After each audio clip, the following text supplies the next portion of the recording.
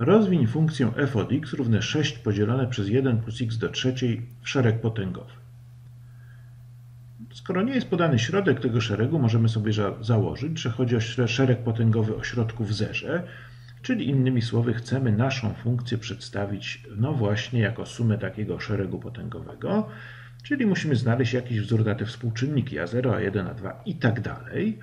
I oczywiście pierwszym takim pomysłem jest, że to jest nic innego jak szereg Taylora w zerze, który czasem zwany jest też szeregiem Maclaurena. Tak? Szereg Taylora w zerze czasem nazywa się szeregiem Maclaurena. No i wzór Taylora mówi nam, jakie są te współczynniki, mianowicie A0 to jest wartość funkcji w zerze, A1 to jest wartość pochodnej w zerze, A2 to jest wartość drugiej pochodnej w zerze przez dwa silnia i tak dalej. No i teraz, o ile ta funkcja spełnia pewne warunki, prawda, bo we wzorze Taylora to jest tutaj jeszcze reszta.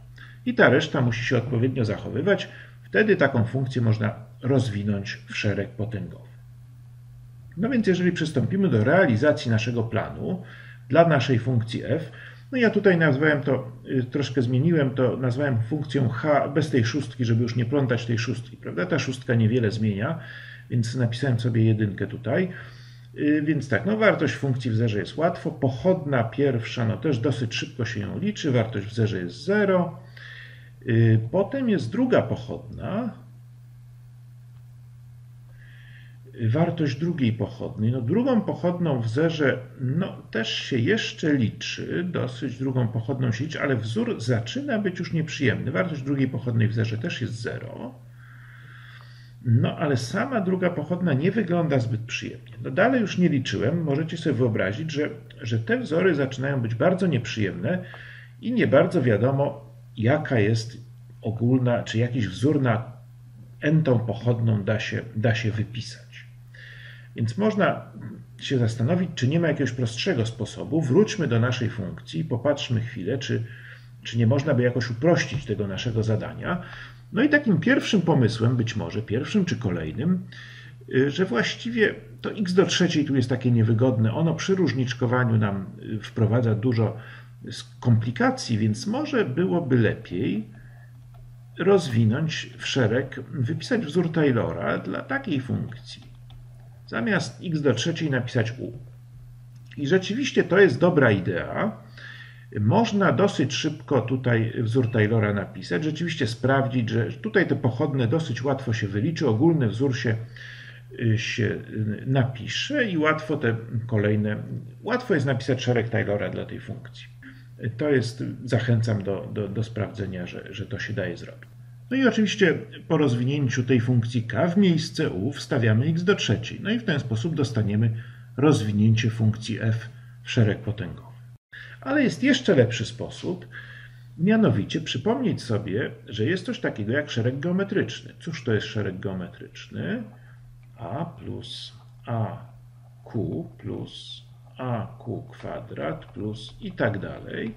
I teraz wiemy, że taki nieskończony szereg geometryczny, jeżeli moduł Q jest mniejszy od 1, no to jest zbieżny i jego suma, nawet wiemy ile jest, to jest a przez 1 minus q.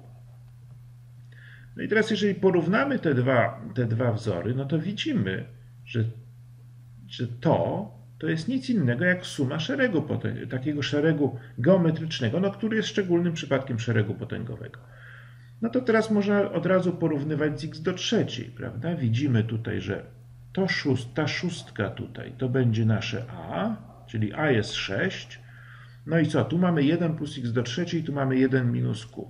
Czyli pewnie 1 plus x do trzeciej trzeba by zapisać jako 1 minus, minus x do trzeciej.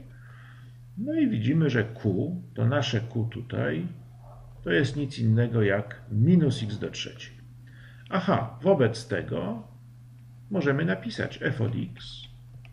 Nasza funkcja to jest a, czyli 6 przez 1 minus minus x do trzeciej, czyli to jest 6 razy 1 plus q, czyli minus x do trzeciej, plus q kwadrat, czyli plus x do szóstej, minus x do dziewiątej, i tak dalej, czyli z użyciem notacji sigma 6 razy suma od n równego 0 do nieskończoności minus 1 do n tej, y, no i x do potęgi 3n, prawda? To jest minus x do trzeciej do n.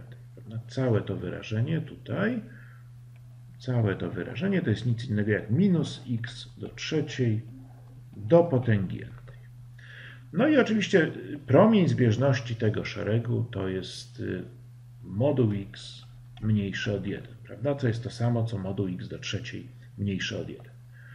Więc jest to bardzo użyteczne spostrzeżenie i w gruncie rzeczy wiele, wiele takich rozwinięć, funkcji, y, funkcji wymiernych zwłaszcza, no, nie korzysta się jawnie z wzoru Taylora, ale korzysta się z tego szeregu, potęgowy, z szeregu geometrycznego, no i z różnych wzorów, takich jak możliwość różniczkowania i całkowania szeregu potęgowego wyraz po wyrazie.